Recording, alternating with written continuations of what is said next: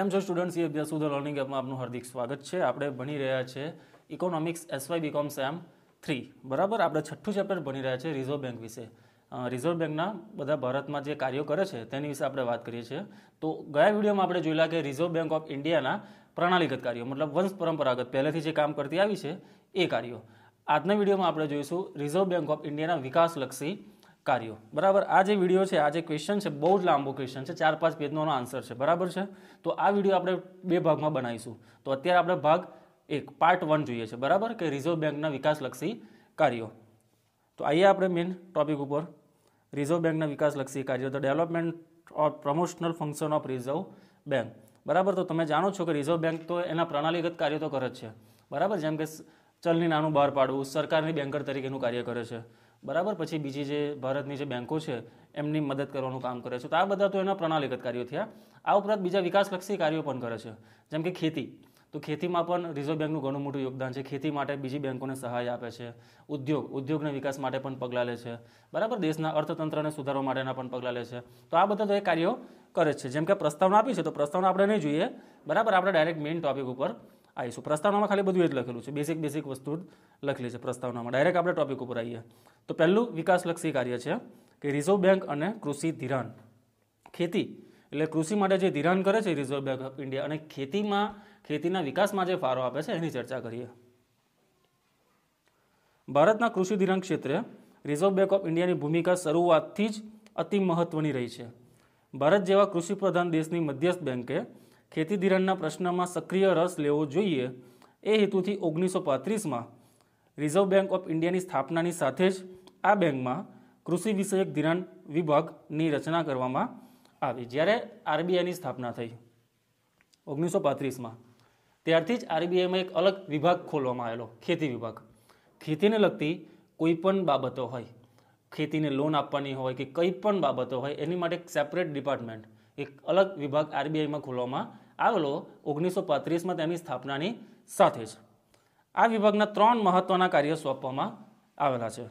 પહેલું કાર્ય, કે કૃષિ ધિરાણ કરવું અને સહકારી પ્રવૃત્તિ અંગે સંશોધન કરીને વખતો વખત માહિતી બહાર પાડવી. કૃષિ ધિરાણ તો કરવાનું જ છે, ખેતીને ધિરાણ આપવાનું જ છે. એની સાથે રિસર્ચ કરવાનું, સંશોધન કરવાનું છે અને વખતો વખત જે ડેટા છે સર્વે કરીને બધી માહિતી, નવી નવી આંકડાઓ, નવી માહિતી બહાર પાડવાની. બીજું કાર્ય, કે જુદી જુદી કક્ષાએ ખેત ધિરાણમાં ફાળો આપતી સહકારી બેન્કો બીજી બેન્કિંગ કંપનીઓ, રાજ્ય સરકારો અને કેન્દ્ર સરકારને ગ્રામ ધિરાણ અંગે જરૂરી માહિતી પૂરી પાડવી અને યોગ્ય સલાહ સૂચનો આપવા. રિઝર્વ બેંક ઓફ ઇન્ડિયા ખેતી ક્ષેત્રે ડાયરેક્ટ પૈસા નથી આપતી ડાયરેક્ટ લોન નથી આપતી. પણ એ શું કરે છે? તો બીજી કેટલીક બેન્કો છે. ગ્રામીણ બેન્કો સહકારી બેન્કો રાજ્ય સરકાર કે કેન્દ્ર સરકાર. તો એ લોકો જે ખેતીને ધિરાણ આપતા હોય બીજી બેન્કો તો એ લોકોને માર્ગદર્શન આપે આરબીઆઈ કે આ રીતે ધિરાણ આપવાનું આટલો, કેમ કે ડેટા બધી માહિતી તો આરબીઆઈ પાસે હોય જ. બરાબર કે કેટલા લોકો ખેતી કરે છે, કેટલા લોકો પાસે કેટલી જમીન છે, બધો ડેટા આરબીઆઈ પાસે હોય, કેમ કે લોકો સર્વે કરે. તો એ લોકો શું કરશે? બીજી બધી બેન્કોને સરકારોને ગાઈડન્સ આપશે, માર્ગદર્શન આપશે કે તમારે આ એરિયામાં વધારે ફોકસ કરવું જોઈએ, આ રાજ્યમાં વધારે ધિરાણ કરવું જોઈએ. તો આ એક કામ કરશે. બીજું, ત્રીજું કાર્ય છે કે રાજ્ય સહકારી બેન્કો અને ગ્રામ ધિરાણનું કાર્ય કરતી બીજી અન્ય સંસ્થાઓને તે કાર્ય વિશાળ પાયા પર કરવા માટે નાણાકીય સહાય આપવી જે બીજી સહકારી બેન્કો હોય, રાજ્ય સહકારી બેન્કો બરાબર? જેમ કે ઘણી બધી સહકારી બેન્કો નાની નાની. એ લોકો જો ખેતી ધિરાણ કરતી હોય, તો આરબીઆઈ એ લોકોને પણ શું કરશે? મદદ કરશે. ડાયરેક્ટલી ખેડૂતોને આરબીઆઈ પૈસા નથી આપતી. બરાબર છે? પણ જે બીજી બેન્કો ખેડૂતોને પૈસા આપતી હશે, એ બેન્કોને આરબીઆઈ મદદ કરશે. તેની ઇનડાયરેક્ટલી મદદ કરશે. રિઝર્વ બેંકની કૃષિ ધિરાણ ક્ષેત્રે સક્રિય અને અસરકારક કામગીરી ઓગણીસો છપ્પનથી શરૂ થઈ. એની પહેલાં પણ આરબીઆઈ ખેતી ક્ષેત્રે કામ તો કરતી હતી જ. પણ વધારે એક્ટિવ રીતે કામ કરવાની શરૂઆત ક્યાંથી કરી ઓગણીસો છપ્પનથી અખિલ ભારત ગ્રામ ધિરાણ તપાસ સમિતિએ ઓગણીસો ચોપ્પનમાં રજૂ કરેલા તેના અહેવાલમાં સૂચવેલી ગ્રામ ધિરાણની સંકલિત યોજનાની અમલની જવાબદારી રિઝર્વ બેંકને સોંપી હતી. તો કે ભાઈ કઈ સમિતિએ રિપોર્ટ બહાર પાડેલો? અખિલ ભારત ગ્રામ ધિરાણ તપાસ સમિતિ. અખિલ ભારત ગ્રામ ધિરાણ તપાસ સમિતિ ઓગણીસો કઈ સાલમાં તો કે ભાઈ? ઓગણીસો ચોપનમાં એક અહેવાલ રજૂ કરેલો. અહેવાલ એટલે રિપોર્ટ એમને રિપોર્ટ બહાર પાડેલો. બરાબર? તેમાં એક યોજના બહાર પાડવામાં આવી કે ગ્રામ ધિરાણની સંકલિત યોજના. કઈ યોજના? ગ્રામ ધિરાણની સંકલિત યોજના. તો આ યોજનાની જવાબદારી, અમલની જવાબદારી કોને આપવામાં આવી? તો કે ભાઈ રિઝર્વ બેંકને આપવામાં આવી. ત્યારથી છેક ઓગણીસો બ્યાસી સુધી આ ક્ષેત્રમાં તેનો ફાળો ઉત્તર ઉત્તર વધતો રહ્યો છે. ઓગણીસો ચોપનમાં કામગીરી શરૂ કરેલી. ત્યારથી લઈને ઓગણીસો બ્યાસી સુધી રિઝર્વ બેંકનો ફાળો વધારે ને વધારે અંદર રહેલો છે. અત્રે એ પણ યાદ રાખવું ઘટે કે રિઝર્વ બેંક ખેડૂતોને પ્રત્યક્ષ ધિરાણ આપતી ન હતી, પરંતુ સહકારી સંસ્થાઓ દ્વારા તે ખેત ધિરાણની સવલતો પૂરી પાડતી. મેં આપણે, મેં જેમ તમને અત્યારે કીધું એમ કે રિઝર્વ બેંક ખેડૂતોને જાતે ધિરાણ આપવા ના જાય, પણ જે બેંકો, સહકારી બેંકો ખેડૂતોને ધિરાણ આપતી હોય ને, એ બેંકોને પૈસા આરબીઆઈ આપે. બરાબર? અને અહીં પણ તે સહકારી મંડળીઓને પ્રત્યક્ષ સહાય ન આપતા રાજ્ય સહકારી બેંકો અને જિલ્લા સહકારી બેંકો દ્વારા સહાય પૂરી પાડતી. એ બેંકો જે નાની બેંકો છે, એમને પણ ડાયરેક્ટ પૈસા ના આપે. પણ આરબીઆઈ પૈસા કોણ આપશે? રાજ્ય સહકારી બેંકોને. અને રાજ્ય સહકારી બેંકો એમના રાજ્યમાં જેટલી પણ બીજી નાની નાની બેંકો છે, જે ખેડૂતોને ધિરાણમાં કામ કરે છે, તો એ લોકોને એ બેંકો પૈસા આપશે. વળી રિઝર્વ બેંક, ખેત ધિરાણની ત્રણેય પ્રકારની જરૂરિયાત, ટૂંકા ગાળાની, મધ્યમ ગાળાની અને લાંબા ગાળાની ધિરાણ જરૂરિયાત પૂરી પાડતી. બરાબર છે? ટૂંકા અને મધ્યમ ગાળાનું ધિરાણ તે સહકારી બેંકો દ્વારા અને લાંબા ગાળાનું ધિરાણ તે જમીન વિકાસ બેંકો દ્વારા પૂરું પાડતી બધી રીતેનું ધિરાણ આરબીઆઈ આપતી. ટૂંકા ગાળાનું હોય, મધ્યમ ગાળાનું અને લાંબા ગાળાનું જે ટૂંકા અને મધ્યમ ગાળાનું હોય ને, તો એ ધિરાણ કોના દ્વારા અપાવે? સહકારી બેંકો દ્વારા. પણ જે લાંબા ગાળાનું હોય લોંગ ટર્મ માટેનું જે લોન આપવાની હોય, તે કોના દ્વારા અપાવશે? તો કે જમીન વિકાસ બેંકો દ્વારા અપાવશે. બરાબર? અત્રે એ યાદ રાખવું ઘટે કે જુલાઈ ઓગણીસો બ્યાસીમાં ખેતી અને ગ્રામ વિકાસ માટેની રાષ્ટ્રીય bank, national bank for agriculture and rural development, NABARD, નાબાર્ડની સ્થાપના થતાં રિઝર્વ બેંકના કૃષિ ધિરાણ વિભાગના કાર્યો આ બેંક હસ્તક આવી ગયા છે. જુલાઈ ઓગણીસો બ્યાસીમાં યાદ રાખજો સાલ, કોની સ્થાપના થઈ? નાબાર્ડ. નાબાર્ડનું આખું નામ છે national agricul, national bank for agriculture and rural development. મતલબ કે આ જે નાબાર્ડ જે સંસ્થા છે ને, તો ભારતમાં, આખા ઇન્ડિયામાં ખેતી ક્ષેત્રની સૌથી મોટામાં મોટી સંસ્થા છે. આખા ઇન્ડિયામાં ખેતીને લગતું ધિરાણ લોન આપવાની હોય તો સૌથી મોટામાં મોટી સંસ્થા કઈ? આહરી. નાબાર્ડ. બરાબર? તો નાબાર્ડના પૈસા કોણ આપે? ઘરના પૈસા લાવશે? નહીં. નાબાર્ડના પૈસા આપશે આરબીઆઈ. આરબીઆઈ નાબાર્ડના પૈસા આપશે અને નાબાર્ડ ખેતીને લગતા જેટલા બી ધિરાણ કરવાના છે, જે બી નીતિ બનાવવાની છે, જેટલા બી નિયમો બનાવવાના છે, તે નાબાર્ડ બનાવશે. એની સ્થાપના ક્યારે થયેલી? તો કે જુલાઈ ઓગણીસો બ્યાસી. બરાબર? વધુમાં આ બેંકે નીચેના બે ફંડની રચના કરી છે. રાષ્ટ્રીય ગ્રામ ધિરાણ લાંબા ગાળાનું ફંડ અને રાષ્ટ્રીય ગ્રામ ધિરાણ સ્થિરતાદાયક ફંડ. આરબીઆઈ બે ફંડની રચના કરી છે. રાષ્ટ્રીય ગ્રામ ધિરાણ લાંબા ગાળાનું ફંડ અને રાષ્ટ્રીય ગ્રામ ધિરાણ તો કે સ્થિરતાદાયક ફંડ રિઝર્વ બેંક દ્વારા અગાઉ સંચાલિત કૃષિ ધિરાણ ફંડ અને કૃષિ ધિરાણ સ્થિરતાદાયક ફંડની બધી જ અસ્યામતો અને જવાબદારીઓ આ બેંકે રચેલા ફંડોમાં તબદીલ કરવામાં આવી છે. મતલબ પહેલાં જે ખેતીને લગતું કામ આરબીઆઈનું એક અલગ ડિપાર્ટમેન્ટ હતો તે કરતો હતો. ખેતીને લગતું બધું જ કામ એ કરતો હતો. પણ જ્યારથી જુલાઈ ઓગણીસો બ્યાસીમાં નાબાર્ડની જ્યારથી સ્થાપના થઈ, તો બધું કામ પછી એને હસ્તક આપી દીધું. બધી સત્તા નાબાર્ડ પાસે છે અત્યારે. બરાબર છે? આ રીતે જોતા ગ્રામ ધિરાણ ક્ષેત્રે ખેતી અને ગ્રામ વિકાસ માટેની રાષ્ટ્રીય બેંક હવે ટોચની સંસ્થા તરીકે કાર્ય કરે છે. મેં તમને અત્યારે કીધેલું કે નાબાર્ડ સંસ્થા છે તે ખેતી ક્ષેત્રે સૌથી ટોપમાં ટોપ સંસ્થા કહી તો કે નાબાર્ડ. બરાબર? ખેતીને લગતા બધા જ કામ એ કરે છે. કૃષિ ધિરાણ ક્ષેત્રે રિઝર્વ બેંકનું અગાઉ જે સ્થાન હતું, તે હવે આ બેંકનું છે. ખેતી ક્ષેત્રે હવે પહેલાં જે આરબીઆઈનો જે નંબર હતો, પહેલો નંબર, એ પહેલો નંબર કોનો આવી ગયો છે હવે? નાબાર્ડનો. કેમ કે બધી સત્તા હવે કોની પાસે છે? નાબાર્ડ પાસે છે. બીજી રીતે કહીએ તો કૃષિ ધિરાણ ક્ષેત્રે રિઝર્વ બેંકના જે કાર્યો હતા, તે હવે આ બેંક હસ્તક આવી ગયા છે. બરાબર? તો કૃષિ ક્ષેત્રે શું કામ છે એ જોયું? હવે એ જ, એમાં જ એ જ ટોપિકમાં છે, સહકારી વેચાણ તથા કોઠારો બાંધવા માટે પણ સહાય આપે છે. બરાબર? કૃષિ ક્ષેત્રે ધિરાણ તો આપે જ છે. ઉપરાંત સહકારી વેચાણ મંડળીઓ.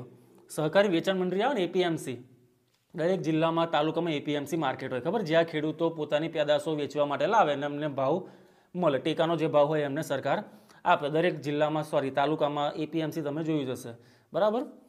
તો સહકારી વેચાણ મંડળીઓને પણ રિઝર્વ બેંક તરફથી નાણાકીય સહાય આપવામાં આવે છે. આ માટે ઓગણીસો છપ્પનમાં national cooperative development and warehousing બોન્ડની સ્થાપના કરવામાં આવી હતી. કોઠારો બાંધવા માટે પણ ખેડૂતોને સહાય મળે છે. આરબીઆઈ આપે છે. એની માટે એક અલગથી ફંડ ઊભું કરવામાં આવ્યું છે. સોરી અલગથી બોર્ડ સંસ્થા બનાવવામાં આવી છે. કઈ સંસ્થા? તો કે national cooperative development and warehousing બોર્ડની સ્થાપના કરવામાં આવી છે. આ બોર્ડ બે ભંડોળનું સંચાલન કરે છે. બે પ્રકારના ભંડોળો બનાવેલા છે. એનું મેનેજમેન્ટ એટલે કે સંચાલન કરે છે. તો કે કયું? પહેલું national cooperative development fund national cooperative warehousing fund. National cooperative શબ્દ કોમન છે બંનેમાં. પહેલામાં ડેવલપમેન્ટ છે અને બીજામાં વેરહાઉસિંગ. વેરહાઉસ એટલે શું? તો કે કોઠાઉન સોરી ગોડાઉન. કોઠારો આવે, ગોડાઉન આવે, તે. પહેલું, નેશનલ કોઓપરેટિવ ડેવલપમેન્ટ ફંડમાંથી રાજ્ય સરકારોને લાંબા ગાળાની લોન આપવામાં આવે છે કે જેથી તેઓ વેચાણ અને પ્રોસેસિંગ માટેની સહકારી મંડળીઓની શેર મૂડી ખરીદી શકે. પહેલું જે ફંડ હતું ને, કે નેશનલ કોઓપરેટિવ ડેવલપમેન્ટ ફંડ, એમાંથી શું થાય? એમાંથી જે રાજ્ય સરકારો છે એમને પૈસા મળે. કે જેથી એ લોકો શું કરી શકે? કે જે બી વેચાણ અને પ્રોસેસિંગ માટે સહકારી મંડળીઓ બન, છે, એમની શેરમૂડી રાજ્ય સરકાર પોતાના હસ્તક, મતલબ કે પોતાના અંડરમાં લઈ શકે. બરાબર? અને બીજું છે કે નેશનલ કોઓપરેટિવ વેરહાઉસિંગ ફંડ એમાંથી મધ્યસ્થ વેરહાઉસિંગ કોર્પોરેશન તથા રાજ્ય વેરહાઉસિંગ કોર્પોરેશનોને કોઠારો, વખારો, ગોદામો બાંધવા માટે નાણાકીય સહાય આપવામાં આવે છે. બરાબર? એની પછી છે સહકારી તાલીમ. સહકારી પ્રવૃત્તિના વિકાસનો આધાર તાલીમ પામેલા કાર્યદક્ષ અને ગ્રામ પ્રજાની જરૂરિયાતોને પહોંચી વળવા સદા તત્પર રહે ને એવા સંચાલકો પર રહેલો છે. બરાબર સહકારી પ્રવૃત્તિ હોય તેનો વિકાસ થાય અને વિકાસ માટે કેવા લોકો જોઈએ? તો કે જેને તાલીમ મળેલી હોય, બરાબર કાર્યદક્ષ હોય એટલે કે મહેનત કરવા તૈયાર હોય અને ગ્રામ પ્રજા એટલે ગામડાની લોકોની જે જરૂરિયાત સમજી શકે અને એમને મદદ કરવા સતત તત્પર રહે, ઉત્સાહ બતાવે, બરાબર એવા સંચાલકો પર એનો આધાર રહેલો છે. તો સહકારી ખાતાના ઉચ્ચ અધિકારીઓની તાલીમ માટે પૂના ખાતે. કઈ જગ્યા પર? પૂના. જે સહકારી ખાતાના જે ઉચ્ચ અધિકારીઓ છે, મોટા ઓફિસર, એમને તાલીમ આપવા માટે પૂના ખાતે એક કેન્દ્ર શરૂ કરવામાં આવ્યું છે. આ ઉપરાંત અન્ય અધિકારીઓ અને કર્મચારીઓને સહકારી તાલીમ આપવા માટે જુદા જુદા રાજ્યોમાં જરૂરી કેન્દ્રોની પણ સ્થાપના કરવામાં આવી છે. બરાબર, આ ટોપિકમાં આટલે સુધી લખજો. આમાં એટલું બધું કંઈ લખવાની જરૂર નથી. આ રીતે જો એમ કહી શકાય કે દેશની મધ્યસ્થ બેંક તરીકે રિઝર્વ બેંક તેના પ્રણાલીગત કાર્યો કરવા ઉપરાંત ખેતી અને ગ્રામ વિકાસ માટેની જરૂરિયાતો પૂરી પાડવામાં સતત પ્રયત્નશીલ રહી છે. તો પહેલું ટોપિક ફિનિશ થાય છે આપણો, કે કૃષિ ધિરાણના કાર્યો. બરાબર? બીજું છે, અત્યારે આપણે વાત કરી ખેતીની, હવે વાત કરીએ બિઝનેસ એટલે કે ધંધાની. તો બીજા એના કાર્યો છે રિઝર્વ બેંક અને ઔદ્યોગિક ધિરાણ. ખેતીમાં તો ધિરાણ મતલબ કે લોન આપે જ છે. હવે ઔદ્યોગિક ઇન્ડસ્ટ્રીમાં પણ લોન આપે છે. બરાબર? તો ઔદ્યોગિક ધિરાણ ક્ષેત્રે પણ રિઝર્વ બેંકની ભૂમિકા ખૂબ જ મહત્વની રહી છે. તાજેતરના વર્ષોમાં ઉદ્યોગોની મધ્યમ અને લાંબા ગાળાની ધિરાણ અંગેની જરૂરિયાતો પૂરી પાડવા માટે અનેક રાજ્ય પ્રેરિત નાણાકીય સંસ્થાઓની રચના કરવામાં આવી છે. બરાબર? અને રિઝર્વ બેંક આ પ્રત્યેક સંસ્થા સાથે પ્રત્યક્ષ કે પરોક્ષ રીતે સંકળાયેલી છે. રાજ્ય સરકારે, મતલબ કે રાજ્ય લેવલ પર, સ્ટેટ લેવલ પર અને નેશનલ લેવલ પર, મતલબ કે દેશના લેવલ પર ઘણી, અને ઘણી બધી સંસ્થાઓની સ્થાપના થઈ છે. નાણાકીય સંસ્થાઓ કે જે ઉદ્યોગોને મદદ કરી શકે. બરાબર? તો આ જે સંસ્થાઓની સ્થાપના થઈ છે, તે બધી સંસ્થાઓ આરબીઆઈ સાથે કોન્ટેક્ટમાં તો હોય છે પ્રત્યક્ષ મતલબ કે ડાયરેક્ટ અથવા પરોક્ષ મતલબ કે ઇનડાયરેક્ટ રીતે. તો સંસ્થાના તમે નામ આપેલા છે અને એનું સ્થાપના વર્ષો આ ટેબલ તમારે યાદ રાખવાનું છે. બરાબર? As a point of general knowledge પણ બહુ જ ઉપયોગી છે અને એક્ઝામની દ્રષ્ટિએ તો ઉપયોગી છે જ. જેમ કે પહેલી સંસ્થાની સ્થાપના થયેલી. ઇન્ડસ્ટ્રીયલ ફાઇનાન્શિયલ કોર્પોરેશન જુલાઈ ઓગણીસો અડતાલીસ યાદ રાખજો જ. બરાબર? IFC IFC industrial finance corporation ઓગણીસો અડતાલીસ બીજું છે. Industrial credit and investment corporation of India આનું નામ તમે સાંભળ્યું જ હશે. બરાબર? બીજી ભાષામાં કહીએ તો આઈસીઆઈસીઆઈ બેંક બરાબર? આનું નામ તમે સાંભળેલું છે. આઈસીઆઈસીઆઈ એનું આખું નામ છે industrial credit and investment corporation of India આઈસીઆઈસીઆઈની સ્થાપના ક્યારે થયેલી? ઓગણીસો પંચાવનમાં. પહેલું હતું ઇન્ડસ્ટ્રીયલ ફાઇનાન્સ કોર્પોરેશન આઈએફસી પહેલું નામ હતું I FC industrial finance corporation ઓગણીસો અડતાલીસ. બીજું છે આઈસીઆઈસીઆઈ ઓગણીસો પંચાવન. ત્રીજું છે industrial development bank of India, આનું નામ પણ તમે સાંભળ્યું છે? IDBI. IDBI, industrial development bank of India આની સ્થાપના થયેલી ઓગણીસો ચોસઠમાં. ક્રમ પ્રમાણે જવાનું આપણે. પહેલાં ઓગણીસો અડતાલીસમાં આઈએફસી પછી આઈસીઆઈસીઆઈ ઓગણીસો પંચાવન, પછી IDBI industrial development bank of India ઓગણીસો ચોસઠ, પછી આવશે unit trust of India UTI નામ સાંભળ્યું હશે? UTI unit trust of India. એની સ્થાપના થયેલી જુલાઈ ઓગણીસો ચોસઠમાં. બરાબર? એની પછી આવે છે industrial investment bank of India industrial investment bank of India IIBI એની સ્થાપના થયેલી નાઇન્ટીન સેવન્ટી વન, ઓગણીસો એકોતેરમાં IIBI industrial investment bank of India પછી છે. પછી તો બધી નાની મોટી બેંકો રાજ્ય નાણાં કોર્પોરેશન સ્ટેટ ફાઇનાન્શિયલ કોર્પોરેશન રાજ્ય ઔદ્યોગિક વિકાસ કોર્પોરેશન ને small industries development bank of India આનું પણ નામ તમે સાંભળ્યું હશે, SIDBI. SIDBI. Small investment development bank of India જે નાની નાની કંપની છે, જેને લઘુ ઉદ્યોગ શરૂ કરવા છે, નાની કંપનીઓ બનાવી છે, એમને આ લોકો સહાય આપે છે. SIDBI small investment sorry small industries development bank of India તો કે ભાઈ, આની સ્થાપના થયેલી ઓગણીસો ને નેવુંમાં. તો આટલી જ ભારતમાં સંસ્થાઓ છે, નાણાકીય સંસ્થાઓ, જે ઉદ્યોગોને સહાય પૂરી પાડે છે. બરાબર? આગળ કહ્યું તેમ રિઝર્વ બેંક ઓફ ઇન્ડિયા આ પ્રત્યક્ષ નાણાકીય સંસ્થા સાથે પ્રત્યક્ષ કે પરોક્ષ રીતે સંકળાયેલી છે. અને એ રીતે ઔદ્યોગિક ધિરાણના કાર્યોમાં તે સહાયભૂત થાય છે. બરાબર? રિઝર્વ બેંક આ વિવિધ સંસ્થાઓને ટૂંકા તથા લાંબા ગાળાની નાણાકીય સહાય આપે છે. તેમજ તેમની શેર કેપિટલ અને ડિબેન્ચરોની ખરીદી કરીને તેમને મદદ કરે છે. બરાબર? તો આ રીતે આરબીઆઈ આ બધી સંસ્થાઓને શું કરે છે? ઇન શોર્ટમાં કહીએ તો બધી મદદ કરે છે. એની પછી જોઈએ. આ બી સેકન્ડ ટોપિકમાં જ છે. ઔદ્યોગિક ધિરાણવાળા ટોપિકમાં જ છે બધું. કે ઇન્ફ્રાસ્ટ્રક્ચર ડેવલપમેન્ટ ફાઇનાન્સ કંપની જાન્યુઆરી ઓગણીસો સત્તાણુંમાંની સ્થાપના થયેલી આઈડીએફસી. શું નામ છે એનું? IDFC. Infrastructure development finance company તો ભારતમાં આંતર આંતરસ્તરીય માળખાના વિકાસને પ્રોત્સાહન આપવા માટે જાન્યુઆરી ઓગણીસો સત્તાણુંમાં ચેન્નાઈ ખાતે એક ઇન્ફ્રાસ્ટ્રક્ચર ડેવલપમેન્ટ ફાઇનાન્શિયલ કંપનીની સ્થાપના કરવામાં આવેલી. ક્યારે થયેલી? તો કે ભાઈ ઓગણીસો સત્તાણુંમાં કઈ જગ્યાએ? તો કે ચેન્નાઈમાં આ કંપનીની સ્થાપના થયેલી, આઈડીએફસી. બરાબર? આ કંપનીની અધિકૃત મૂડી પાંચ હજાર કરોડની છે. અધિકૃત મૂડી એટલે ઓથોરાઇઝ શેર કેપિટલ સત્તાવાર થાપન જેને કહેવાય. બરાબર? તો અધિકૃત મૂડી કેટલી છે? પાંચ હજાર કરોડની છે. અને પ્રારંભિક શેર મૂડી કેટલા રૂપિયાની છે? તો કે રૂપિયા એક હજાર કરોડની છે. ઓથોરાઇઝ કેપિટલ પાંચ હજાર કરોડ છે. બરાબર? અને ઇસ્યુડ કેપિટલ ઇસ્યુ કેપિટલ જે આવે, બહાર પાડેલી મૂડી એ કેટલાની છે? એક હજાર કરોડની છે. રિઝર્વ બેન્કે આ કંપનીમાં ઇક્વિટી મૂડી તરીકે રૂપિયા એકસો પચાસ કરોડ અને અન્ય સહાય પેટે રૂપિયા ત્રણસો પચાસ કરોડ જેટલી રકમ આપી છે. આરબીઆઈએ આ બેંકને પણ સહાય કરી છે. ઇક્વિટી મૂડીમાં એકસો પચાસ કરોડની એને મદદ કરી છે અને અન્ય સહાયમાં ત્રણસો પચાસ કરોડ જેટલી રકમ આપી છે. આ કંપનીનો મુખ્ય હેતુ શું છે? આંતરસ્તરીય માળખાના પાંચ ક્ષેત્રો. દેશના વિકાસ માટે જે પાંચ મેઇન એરિયા છે, ક્ષેત્રો છે, કયા? તો કે ભાઈ ઊર્જા, એનર્જી સેક્ટર, ટેલિકોમ, બંદરો, રસ્તાઓ અને શહેરી માળખાકીય સવલતોના વિકાસ પર સૌપ્રથમ ધ્યાન કેન્દ્રિત કરવાનો છે. આ જે સંસ્થા છે, બરાબર, એનો મેઇન હેતુ શું છે? તો ભારતના વિકાસ માટે પાંચ મેઇન સેક્ટરો તો કે ઊર્જા એનર્જી બરાબર? એનર્જીમાં બધું જાય છે. સૌર ઊર્જા, પવન ઊર્જા દરિયાની ઊર્જા, મતલબ બધું જાય છે.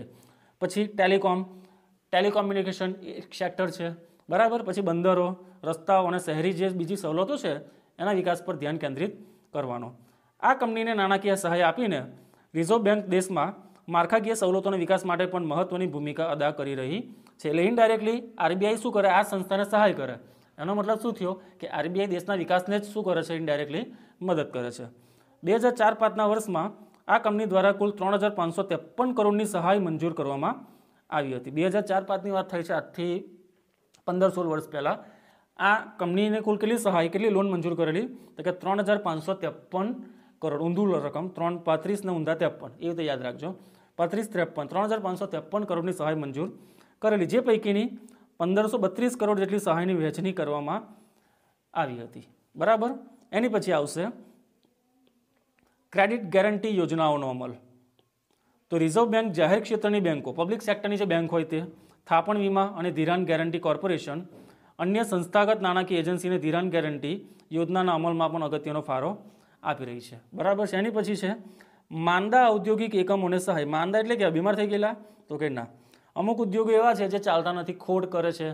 બરાબર ઓલમોસ્ટ કંપની બંધ થઈ ગઈ છે. તે એવા માંદા ઔદ્યોગિક એકમોને પણ આરબીઆઈ શું કરે છે? હેલ્પ કરે છે. રિઝર્વ બેંકમાં રચવામાં આવેલ માંદા ઔદ્યોગિક એકમનો વિભાગ, એક આખો ડિપાર્ટમેન્ટ છે. રિઝર્વ બેંકમાં એક આખો અલગ વિભાગ જ છે કે એનું નામ જ છે કે માંદા ઔદ્યોગિક એકમોનો વિભાગ. વેપારી બેંકો દ્વારા માંદા એકમોના પુનર્વસન માટે લીધેલા પગલાં અને કામગીરી પર દેખરેખ રાખીને તેની વખતો વખત સમીક્ષા કરે છે. આરબીઆઈ ડાયરેક્ટ એની પર નજર ના રાખે, પણ બેંકોને કહી દે. જેમ કે એસબીઆઈને કહી દે કે ભાઈ તમારે આટલા આટલા એકમો છે, આટલી કંપની છે જે બંધ થઈ ગયેલી છે, એનું કામગીરી પણ તમારે નજર રાખવાની અને ફરીથી સ્ટાર્ટ કરવાની. મતલબ કે મીન્સ આરબીઆઈ ઇનડાયરેક્ટલી રીતે જે માંદા ઔદ્યોગિક એકમો છે, જે કંપની ઓલમોસ્ટ બંધ થઈ ગયેલી છે, ચાલતી નથી, ખોટ કરે છે, એમને ફરી ચાલુ કરવા માટે પણ પગલાં લે છે. મતલબ કે એમને સહાય આપે છે. એની પછી છે, હવે ત્રીજો ટોપિક જોઈએ. બે ટોપિક જોયા. પહેલાં કૃષિ, પછી ઉદ્યોગ. હવે છે ભારતના વિદેશ વેપારમાં વિકાસમાં રિઝર્વ બેંકની ભૂમિકા. ફોરેન સાથે જે વેપાર કરીએ છીએ, એના વિકાસમાં આરબીઆઈની શું ભૂમિકા છે? વિદેશ વેપારના વિકાસમાં પણ રિઝર્વ બેંકનો ફાળો નોંધપાત્ર છે. વિશેષ કરીને દેશના નિકાસ વેપારને પ્રોત્સાહન આપવામાં તેની કામગીરી ખૂબ જ મહત્વની રહી છે. વિદેશ વેપારના ભારતના ફાયદો ક્યાંથી થાય? તો કે નિકાસથી. જેટલો વધારે નિકાસ આપણે કરીશું ફોરેનમાં, એટલા વધારે વિદેશી પૈસા આપણા દેશમાં આવશે. તો એના વિકાસમાં પણ આરબીઆઈ સારી એવી મદદ કરે છે. નિકાસ માટેની શાખની વ્યવસ્થા ગોઠવી આપવામાં તેમજ નિકાસલક્ષી એકમોને પ્રોત્સાહન પૂરું પાડવાની દિશામાં રિઝર્વ બેંક ખૂબ જ સક્રિય રહી છે. રિઝર્વ બેંક શું કરશે? નિકાસ માટેની શાખની વ્યવસ્થા. મતલબ કે લોન. મતલબ કે મારી કોઈ કંપની છે, નાની છે, ને હું મારી વસ્તુ બનાવીને અમેરિકા મોકલું છું બહાર. બરાબર? તો રિઝર્વ બેંક મને મદદ કરશે. કેમ કે હું દેશનું ભલું જ કરું છું. હું મારી બધી વસ્તુ મોકલ, બનાવીને અમેરિકા મોકલીશ, નિકાસ કરીશ. તો અમેરિકાનો જે ડોલર છે, આપણા ભારતમાં આવશે. મતલબ કે ભારતનું વિદેશી હુંડિયામણ વધશે. ઇનડાયરેક્ટલી દેશની મદદ થાય છે. તો એટલા માટે આરબીઆઈ મને સહાય હેલ્પ કરશે. શેમાં? શાકની વ્યવસ્થા. મતલબ કે લોન આપશે મને, જ્યારે જરૂર હશે બિઝનેસ કરવા માટે. તો જો બધી ઘણી સારી એવી સ્કીમો પણ બહાર પાડી છે સરકારે. બરાબર? તો આરબીઆઈ પણ મને એ એમ નિકાસ માટેની શું આપશે? મને ફાઇનાન્શિયલ હેલ્પ કરશે. મતલબ કે નાણાકીય સહાય પૂરી પાડશે. ધિરાણ માટે નિકાસ ક્ષેત્રને અગ્રિમ ક્ષેત્ર પ્રાયોરિટી સેક્ટર તરીકે સ્વીકાર્યું હોવાથી આપણા દેશમાં સૌથી વધારે પહેલી પ્રેફરન્સ કોને અપાય લોનમાં તો કે નિકાસ ક્ષેત્રને. જે કંપનીઓ વધારે સારો એવું નિકાસ કરતી હોય, તો સરકાર અથવા બેંકો એ કંપનીને પહેલી પ્રાયોરિટી આપશે, એમને લોન વહેલી આપશે. બરાબર? આ વિભાગની ધિરાણની જરૂરિયાતોને પ્રાથમિકતા અપાય છે. બીજી તરફ, આયાત નીતિ તથા હુંડિયામણની અનામતોના કાર્યક્ષમ સંચાલન અને અમલ દ્વારા ઉચ્ચ અગ્રિમથી ધરાવતી આયાતો. બરાબર? જેમ કે મૂડીના સાધનો. કેપિટલ જે વસ્તુ હોય, જેના જેમ કે કરોડો અરબો રૂપિયાના જે સાધનો છે. બરાબર, એ વસ્તુની દેશમાં આયાત કરવી હોય તો એની માટે પણ આરબીઆઈ મદદ પાડે, મદદ પૂરી પાડે છે. પછી, અદ્યતન સાધન સામગ્રી ટેકનોલોજી, જરૂરી એવો કાચો માલ, યંત્રોના છૂટા ભાગ, અધો ઉત્પાદિત માલ વગેરેની આયાતો સરળતાથી કરી શકાય. તે માટે પ્રાથમિકતાના ધોરણે ધિરાણ પૂરું પાડી, રિઝર્વ બેંક ઔદ્યોગિક વૃદ્ધિ દરને વેગવંત બનાવવામાં સહાયભૂત થાય છે. બરાબર છે? આ એક બેઝિક વાક્ય હતા. બધા આમાં કંઈ સમજવાની કંઈ જરૂર નથી. બરાબર? દેશના અર્થતંત્રના વિકાસમાં જરૂરી હોય તેવું બધું જ. લેટેસ્ટ ટેકનોલોજી હોય, બરાબર? પછી કાચો માલ હોય, યંત્રોના છૂટા છૂટા ભાગ હોય, બરાબર? મૂડીના સાધનો હોય. તો એ બધાને જો દેશમાં આયાત કરવા છે, દેશમાં લાવવા છે, તો એની માટે પણ આરબીઆઈ શું કરશે? સહાય પૂરી પાડશે. તદુપરાંત, વેપારી બેન્કોએ કરેલા નિકાસ ધિરાણ સામે રિઝર્વ બેન્ક તેમને પુનઃ ધિરાણની સવલતો પણ પૂરી પાડે છે. બરાબર? બીજી બેંકો આવે, જેમ કે એસબીઆઈ છે બેંક ઓફ બરોડા એ લોકો જો કોઈ કંપનીને નિકાસ ધિરાણ આપે, મતલબ કે નિકાસ કરવા માટે જો લોન આપે, તો એટલા જ રૂપિયાની લોન આરબીઆઈ તેમને આપશે. જેમ કે બેંક ઓફ બરોડા કોઈ કંપનીને પાંચ હજાર કરોડની લોન આપે છે નિકાસ એક્સપોર્ટ કરવા માટે, તો પાંચ હજાર કરોડની લોન આરબીઆઈ બીઓબીને આપશે. બરાબર? આ આ પૈકીની કેટલીક મુખ્ય યોજનાઓ નીચે પ્રમાણે છે. તો પહેલું છે નિકાસ બિલ ક્રેડિટ સ્કીમ. આ યોજનાઓ તમારે ગોખવાની છે. બરાબર? યાદ રાખવી જ પડશે. નિકાસ બિલ ક્રેડિટ સ્કીમ નિકાસ શાક scheme pre shipment credit scheme, પછી ડ્યુટી ડ્રોબેક્સ ક્રેડિટ સ્કીમ અને નિકાસ ધિરાણ પર વ્યાજના દરમાં રાહત. આ જે ટોટલ પાંચ સ્કીમ છે એ તમારે યાદ રાખવી પડશે. તો આરબીઆઈ આટલી સ્કીમો ચલાવે છે નિકાસકારોને મદદ કરવા માટે. વધુમાં, ઓગણીસો માર્ચ ઓગણીસો બ્યાસીથી નિકાસ આયાત બેંકની રચના કરવામાં આવી છે. ઇમ્પોર્ટ એક્સપોર્ટ બેંક, જેને એક્ઝિમ બેંક કહેવાય છે. એક્ઝિમ બેંક એનું શોર્ટકટ નામ છે, એક્સપોર્ટ ઇમ્પોર્ટ બેંક. આ બેંકનું કામ શું છે? જે લોકો આયાત કે નિકાસ સાથે જોડાયેલા હોય તેમની મદદ કરવી. તો ઓગણીસો બ્યાસીમાં એની સ્થાપના થઈ છે, જે દેશના નિકાસ વેપાર તથા આયાત વેપાર માટે નાણાં પૂરું પાડવાનું કાર્ય કરે છે. જેમ કે મારી કંપની છે, મારે કંપની ફોરેનમાંથી કોઈ વસ્તુ મંગાવે છે, બહુ મોંઘી છે અને મારી કંપની પાસે એટલા પૈસા નથી. તો આ બેંક મને શું કરશે? જો હું યોગ્ય હોઉં, જો હું યોગ્ય લાયકાત ધરાવતો હોઈશ, તો આ બેંક મને ફોરેનમાંથી કોઈ મોટી વસ્તુ આયાત કરવા માટે મને લોન આપશે. બરાબર? આ બેંકને રિઝર્વ બેંક તરફથી ટૂંકા તથા લાંબા ગાળાની નાણાકીય સહાય પ્રાપ્ત થાય છે. તો આ બેંક જે પૈસા આપશે મને, એ ઘરના આપશે તો કે ના? રિઝર્વ બેંક એમને પૈસા આપશે ને એ બેંક બીજાને પૈસા આપશે પછી. આમ, વિદેશ વેપારના ક્ષેત્રે પણ રિઝર્વ બેંકની કામગીરી નોંધનીય રહેવા પામી છે. બરાબર? તો અત્યારે આપણે ટોપિક જો વિદેશ વેપારમાં, એની પછીનો ટોપિક છે ચોથો. હુંડી બજાર યોજનાનો વિકાસ. બરાબર? તો રિઝર્વ બેન્કે હુંડી બજાર યોજનાનો વિકાસ કરીને ભારતનું નાણાં બજારની એક અગત્યની ઉણપ દૂર કરવાનો પ્રયાસ કરેલો છે. ઓગણીસો એકત્રીસમાં મધ્યસ્થ બેન્કિંગ તપાસ સમિતિએ ભારતમાં હુંડી બજાર વિકસાવવા માટે સૂચનો કરેલા. ઓગણીસો એકત્રીસની સાલમાં, બરાબર? તો આપણો દેશ આઝાદ બી નહોતો થયો. તો એમાં મધ્યસ્થ બેન્કિંગ તપાસ સમિતિ હતી. એ લોકોએ સરકારને સલાહ આપેલી કે ભારતમાં એક હુંડી બજાર વિકસાવવું જોઈએ. ને ત્યાર પછી નિમાયેલી વિવિધ સમિતિઓએ પણ આ બાબત પર ભાર મૂકેલો. પરંતુ ઓગણીસો એકાવન સુધી ભારતમાં હુંડી બજાર યોજનાનો વિકાસ થઈ શક્યો ન હતો. વાતો જ ખાલી ચાલતી હતી, એકલી વાર્તાઓ જ કરતા હતા મળીને ખાલી. બરાબર? ઓગણીસો એકત્રીસથી ઓગણીસો એકાવન સુધી વીસ વર્ષમાં કશું પણ પગલાં લેવાયા નહોતા. પણ નવેમ્બર ઓગણીસો એકાવનમાં રિઝર્વ બેન્કે હુંડી બજારના વિકાસ માટે એક યોજના તૈયાર કરેલી, જેનો અમલ જાન્યુઆરી ઓગણીસો બાવનથી કરવામાં આવેલો. આ યોજનાનો જે મુખ્ય ઉદ્દેશ હતો, નાણાં બજારને વધુ સ્થિતિસ્થાપક બનાવવાનો હતો. અને પ્રસ્તુત યોજનામાં વખતો વખત છૂટછાટો મૂકીને તેનું કાર્યક્ષેત્ર વધુ વ્યાપક બનાવવાનો આરબીઆઈ તરફથી પ્રયાસ થતો રહ્યો છે. છેલ્લે ફેબ્રુઆરી ઓગણીસો સિત્તેરમાં રિઝર્વ બેન્કે હુંડી બજાર યોજનાને વિકસાવવા માટે શ્રી એમ નરસિંહના અધ્યક્ષપદે અભ્યાસ જૂથની નિમણૂક કરેલી. ક્યારે? તો કે ભાઈ ઓગણીસો સિત્તેરમાં હુંડી બજાર યોજનાને વિકસાવવા માટે શ્રી એમ નરસિંહમ. બરાબર? એમને એ અધ્યક્ષ હતા. તો એમના અધ્યક્ષપદે જૂથની નિમણૂક કરી હતી. આ જૂથે તેનો અહેવાલ જૂન ઓગણીસો સિત્તેરમાં પરત કર્યો. અને તેની ભલામણોના આધારે રિઝર્વ બેન્કે હુંડી બજારની નવી યોજના જાહેર કરી, જેનો અમલ પહેલી નવેમ્બર ઓગણીસો સિત્તેરથી થયો. હુંડી બજારની આ નવી યોજનાની મુખ્ય વિશિષ્ટતાઓ નીચે પ્રમાણે છે. જેટલી બી આજે હુંડી બજારની જે યોજના બહાર પાડેલ એની વિશિષ્ટતાઓ જોઈએ. પહેલું, જાહેર ક્ષેત્રની બેન્કો સહિત બધી જ શેડ્યુલ બેન્કોને આ યોજના હેઠળ રિઝર્વ બેન્ક પાસેથી વિનિમય પત્રોના વટાવ માટે પાત્ર ગણવામાં આવી. બધી બેન્કો જાહેર ક્ષેત્રની જેટલી બેન્કો છે તે તો ખરી જ. એની સાથે સાથે જેટલી બી શેડ્યુલ બેન્કો છે, એ બધાને લાયકાત મળી ગઈ. એ લોકો રિઝર્વ બેન્ક પાસેથી બધા જે વિનિમય પત્રો આવે છે તેને વટાવી શકે. ને બીજું આ યોજના હેઠળ આવરી લેવાયેલા વિનિમય પત્રો વાસ્તવિક વેપારના સોદામાંથી ઉદ્ભવેલા હોવા જોઈએ. જે વિનિમય પત્રો બેન્કો વટાવી શકે, એ વિનિમય પત્રો કેવા ઉદ્ભવેલા હોવા જોઈએ? તો કે વાસ્તવિક જે સોદા થયેલો હોય, ટ્રાન્ઝેક્શન જે થયેલો બિઝનેસમાં એમાંથી જ ઉદ્ભવેલા હોવા જોઈએ. ત્રીજું આ વિનિમય પત્ર ખરીદનારની બેંક પર લખાયેલ હોવું જોઈએ. આ વિનિમય પત્ર કેવું હોવું જોઈએ? ખરીદનારની બેંક પર લખાયેલું હોવું જોઈએ. મતલબ કે હું કોઈ વસ્તુ, કોઈ વેપારી પાસેથી માલ ખરીદું છું, બરાબર? હું એને વિનિમય પત્ર લખી આપું છું. બરાબર? સોરી ઊંધું થઈ ગયું.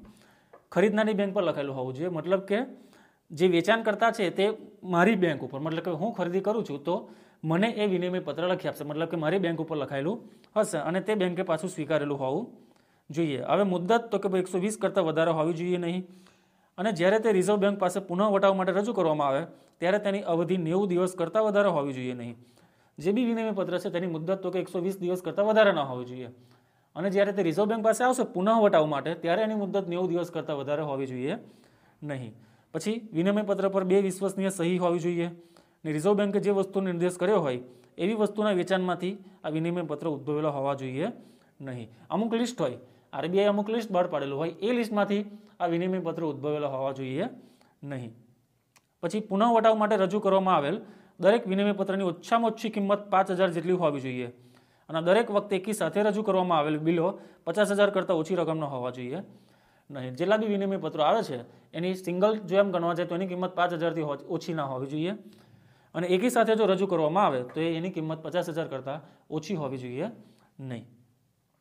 ઓગણીસો એકોતેરમાં આ નવી યોજના સરકારી અને અર્ધ સરકારી ખાતાઓને તથા કાયદા માન્ય કોર્પોરેશનોને વેચાણ કરેલી વસ્તુઓને વેચાણમાંથી ઉદ્ભવતા વિનિમય પત્રોને, બરાબર?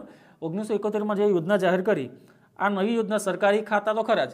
એની સાથે અર્ધ સરકારી ખાતાઓ તથા કાયદા માન્ય કોર્પોરેશનો. જે બી કોર્પોરેશન છે, મતલબ કે સરકારી કોર્પોરેશન છે, બરાબર? જેને કાયદાએ માન્યતા આપી છે. જેમ કે ઓએનજીસી, એલઆઈસી છે, Bharat petroleum, Indian oil corporation. આ બધા સરકારના કોર્પોરેશન કહેવાય, બરાબર? એમ સરકાર માલિક કહેવાય એમની.